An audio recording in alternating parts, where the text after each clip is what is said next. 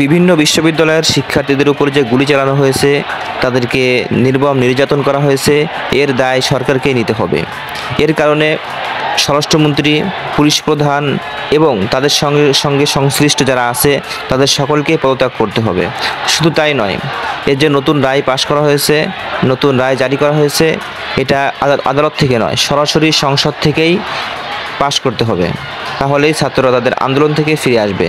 তা না হলে তারা তাদের আন্দোলন চালিয়ে যাওয়ার ঘোষণা এবং তারা নতুনভাবে রাজপথে আবারও নেমে আসবে।